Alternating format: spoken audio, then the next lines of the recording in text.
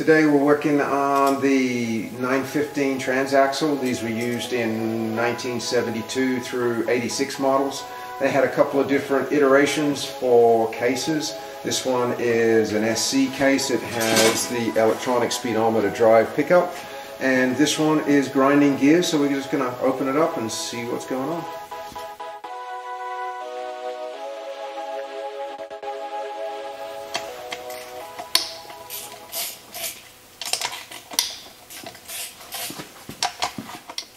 About to pull off the end housing. They give us a couple of points to use our plastic mallet, like right here where we can hit. And then there's going to be another point on the other side, right here, and then down on the rear mount boss down here. So I'm just going to crack this. Oh,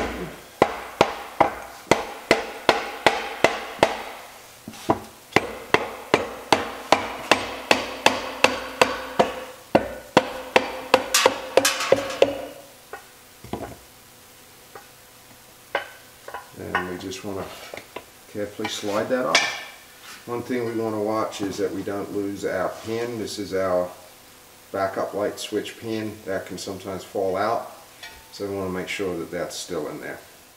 So this is our reverse gear set up right here and we need to disassemble these gears off the back before I can pull the intermediate part of the case off to actually get to all the gear sets and pull it out. So I need to undo this knot. There's a roll pin on the input shaft nut that needs to be disassembled. Take off the reverse idler gear and I'm just going to lay all that out on the bench. This plate is the pivot for the gear shift and I need to be able to get my gear shift out of the way to pull my reverse shift fork off.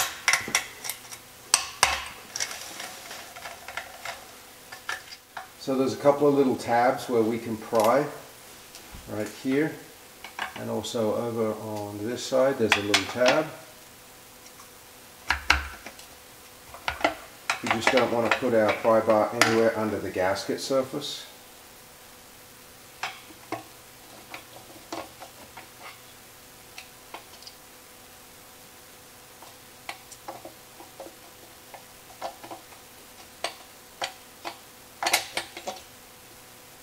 Our pivot. This will allow me to move my gear shift out of the way so I can pull my reverse shift fork and my reverse idler gear off the back of the pinion shaft. So we don't have to undo this shift fork to pull this off. Just got to pull it straight out the reverse slider gear. We should be able to get our idler off with the shaft. It has two bearings in there and a little spacer between them as well as a Torrington thrust washer.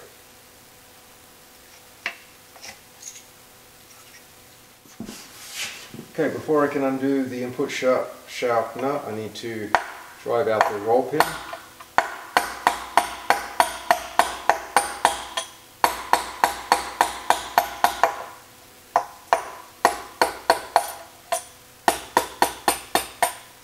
And the roll pin is reusable. So to undo the, the nut on the input shaft, I'm just going to use my impact gun and a 27 millimeter socket.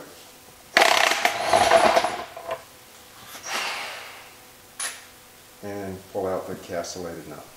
So the pinion shaft nut is a one-time use and has a peen on it. Usually I don't bother even undoing the peen because I'm just going to throw that nut away. I'm going to use my impact gun again and my 36 millimeter socket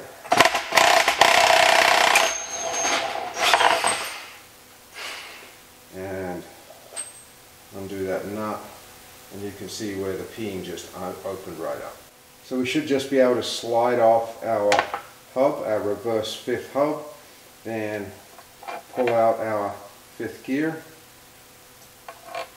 our reverse idler gear, and the matching fifth gear here. This little shaft, which is the pivot shaft for the entire reverse idler, needs to come out all as all as one with this gear because it's because of the cutout.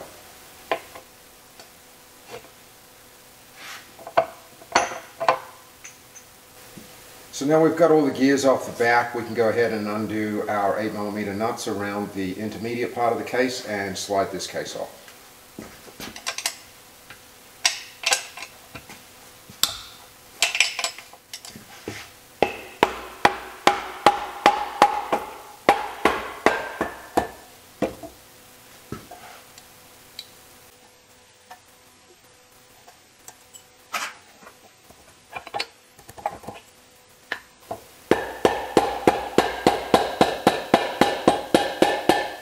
When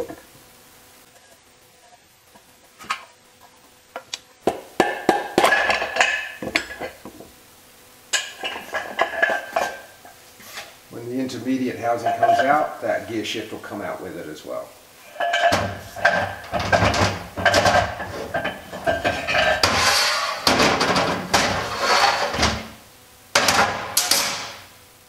Now I've got the, uh, the gears exposed, I can look at the condition of my synchro. So this is first, second, third, fourth, and fifth is out the back. Um, the bearing has some wear on it. The other thing I noticed is the bearing has been spinning on the shaft. This should be a, a press fit, tight fit. And I can see where that bearing is all galled up, so it's definitely going to need a bearing there. Um, pinion bearing, rear support doesn't look bad and it's kind of sort of tight. Uh, synchros, so this is third gear. This this is a gear that gets a lot of wear. And if I move my gear shift in, so you can see right here that the synchro is all polished off and there's some pitting where that brake material has come off. This is usually like a 36 grit sandpaper. And as you try and select a gear, it will slow that gear down by pushing this brake ring against the sliding fork, or the slider, sorry. So third gear synchro is definitely worn. The dog teeth are showing some wear as well. First and second down here don't look as bad. And what we're looking for is a polishing on the synchro. When they become really highly polished, they're no longer going to work as a brake and slow the gear down. So when you're shifting gears, they'll tend to want to grind. But all in all, it doesn't look too horrible at this stage. Get these gear sets out, first thing I want to do is remove my shift forks. So to do that, right here, these two bolts, they have a spring with a ball detent, and these are our shift detents. These are what help hold the gear shift in gear once you select it. So I'm just going to pull both of these. We want to make sure that we get, there's a spring, and there's also a ball bearing in there. I'm going to use my magnet to get that out. Doesn't matter where these springs go, you can mix them up. They should be both the same length and the same strength. The magnet come down inside the hole and we can always get this one out later as long as it's released right now. It's just got a bunch of debris in the threads that it's getting stuck on. Little detent won't want to pop out.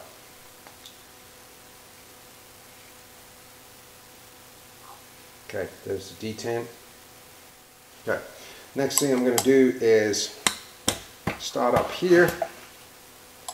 Just going to undo the clamping bolt. This is going to allow this shift rod to slide on the fork. I do need to pull the bolt all the way out. And I'm going to loosen the actual shift part right here.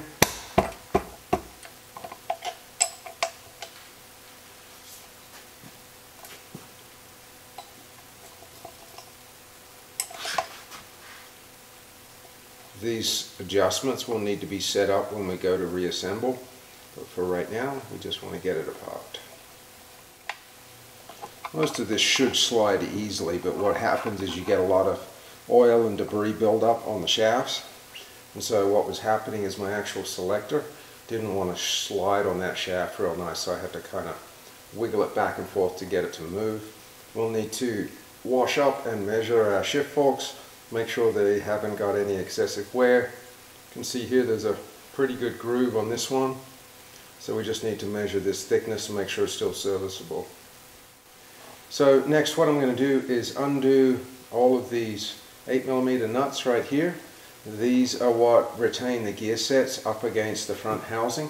I can pull this one out with the whole gear set so I don't really have to touch it right now and then I can put all the gears on the bench.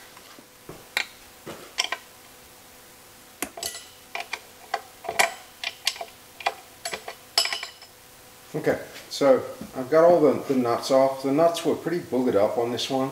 There's nothing particularly special about the nuts. They do use a special lock washer though, where the outside diameter is a little bit skinnier.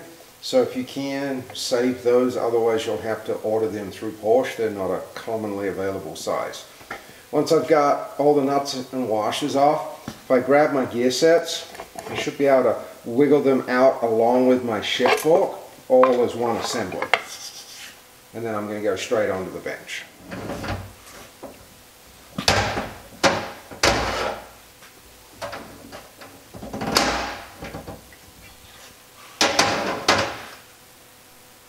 So on our case, this is our pinion depth shim. There may be multiples of these shims. You want to make sure that you always hang on to these because that'll be needed on reassembly. If you're making any changes to bearings or gears for pinions or the crown wheel, you may have to adjust. You can see there's two shims here. Then the other thing I want to do is I want to make sure that these bearing races don't slide in the case. This is a common problem where these will actually start to spin inside the housing and they'll actually wear out this housing where uh, to a point where you can either have a steel insert machined in, there's a couple of companies that do that, or replace the entire front housing assembly. The last thing I need to do on this transmission is pull the differential out. So I've already pulled the half shafts. I used my impact gun to just undo the center bolt and then I'm just going to pull the cover.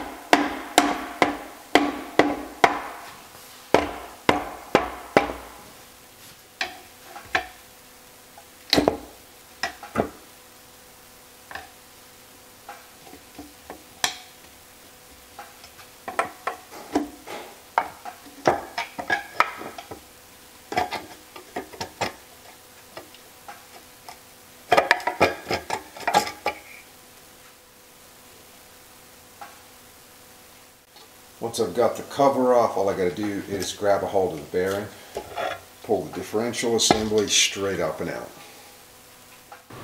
So now we've got it all disassembled. I'm going to start cleaning up. I'm going to start with my cases first, washing them out. These ones are a magnesium case, so I'm not going to go to blast or anything with them. I'm just going to scrape all the gaskets. I'm going to be replacing our bearings. These are our intermediate main shaft bearings here and pinion shaft bearings. So the main case is going to require a lot more cleaning. We've got to go ahead and pull out our clutch fork. And You can see this one is also worn. There's quite a big lip right here. So I'm going to put in a new clutch fork. This is fairly typical on the 915s. Guide sleeve doesn't look too bad. It's in pretty good shape. But we need to clean all of that out, remove the guide sleeve. And once again, we're going to be removing our bearings for our pinion shaft and our main shaft and replacing those. Just going to wash our case just to get all of our gunk and oil off of it.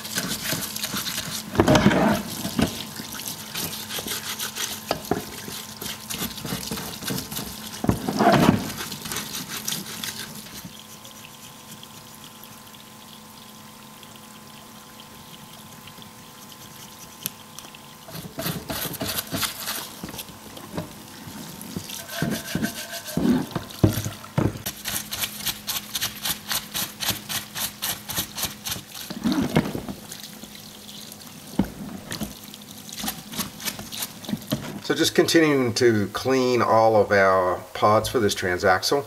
I've gone here, this is the differential cover, and there's a groove right here. I've peeled this O-ring out.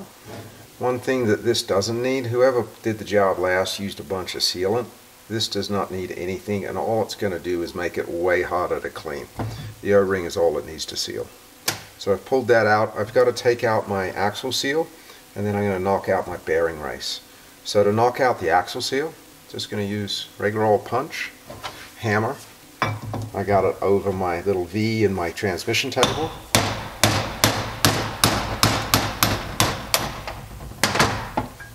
And just drive that straight out. And then that goes into the trash. When it comes to the bearing races, we've got to be careful. We need to pick up right here. With that punch, I'm actually going to use a bearing punch instead of this round punch. And I'm just going to knock this bearing race out as well.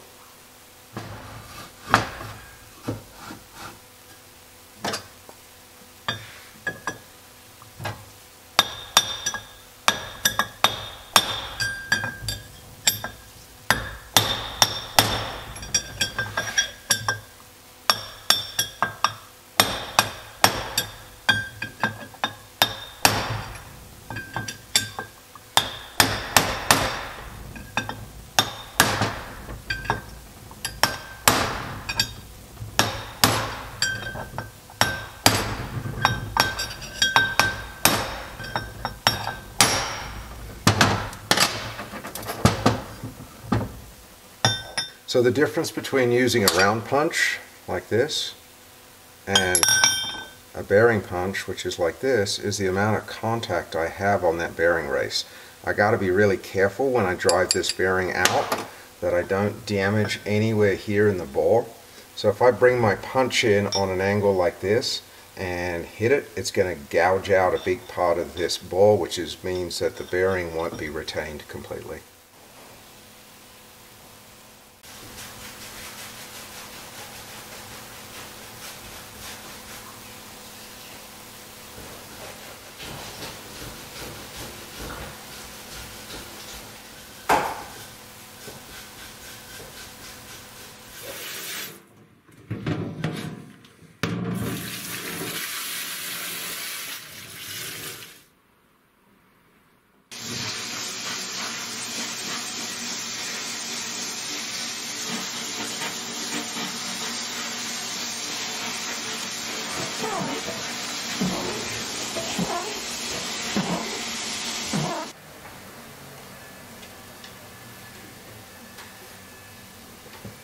So I'm continuing to clean up my case. I'm up to the front differential housing right now.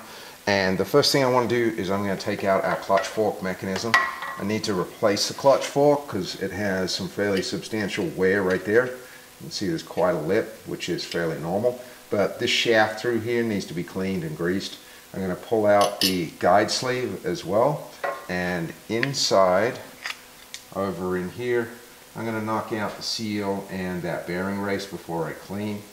These bearing races we're going to replace, but I'll knock them out once I've cleaned everything up. So to remove the clutch assembly or the clutch fork and shaft, I'm going to drive this roll pin. And what I have to do is get it started right here, but I can't keep driving it all the way back out because it'll just end up into the case. So normally what I will do is start moving it out making sure that I can still pivot enough and then I'll grab it with a pair of side cutters and pull the rest of the uh, pin out.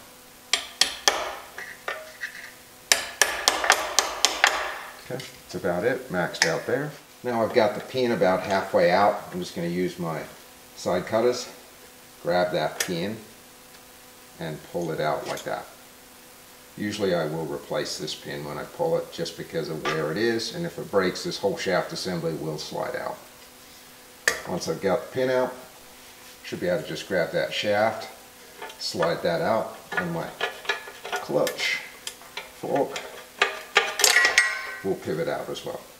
The next thing I'm going to move is the differential side seal just like we did on the other cover. Just going to tap it straight out.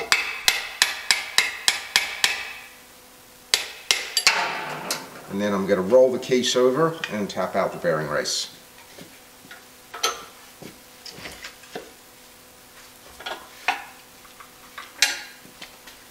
The same as with our side cover, I'm using my bearing punch and I've got to make sure that when I locate on that bearing, I'm just picking up on the bearing and I don't dig into the side of the case.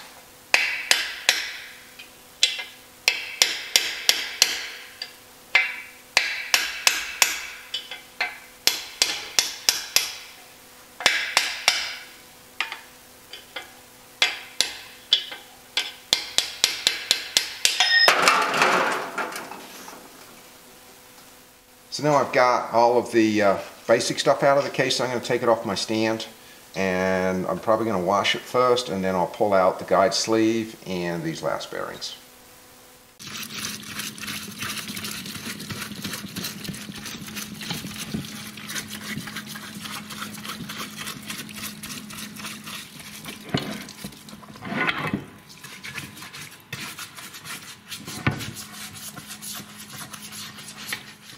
So I've got the case out of the parts washer.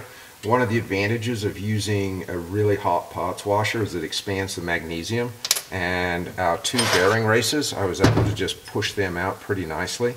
We're going to look at these in a little more detail later. So I'm just moving through and cleaning up the case. With these cases, these are designed to go on dry, these gaskets. Somebody, the last guy, has used a sealant.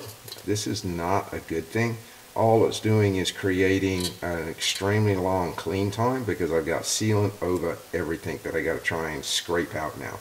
If everything is clean, dry, and flat, these gaskets should be able to go on without any additional sealants.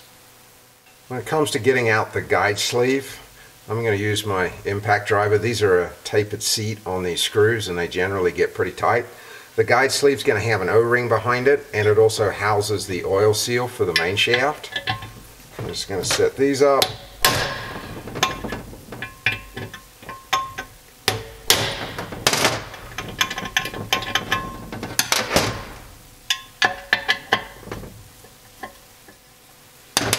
Now normally this would just twist out these two holes right here uh, to put in a little hook tool and pull it but I can see all the sealant that's dribbling out from the last guy that decided that an O-ring wasn't good enough for him. So I'm probably going to have to tap this out from the back. This is another reason why we shouldn't use sealant where it's not supposed to be.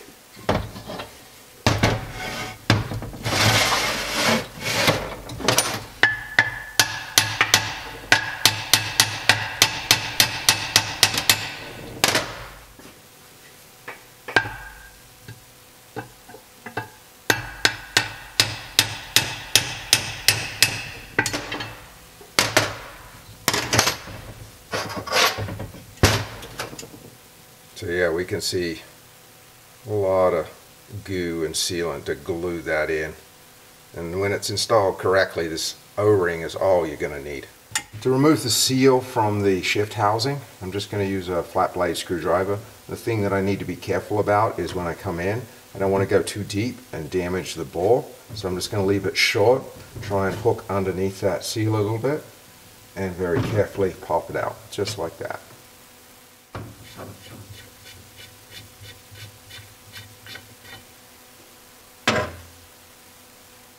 The next part of cleaning is, since it's been through the parts washer, I've done a lot of scraping and scrubbing. Now I'm just using some brake clean, getting out all the remnants of the uh, gasket material. There's also some pockets because of the castings where a lot of debris is trapped. And the best way to get that out is with a high evaporation solvent and just wash and flush that out. Also it gets rid of all of the uh, gasket debris and little fluff, pieces of fluff that can be left on the case.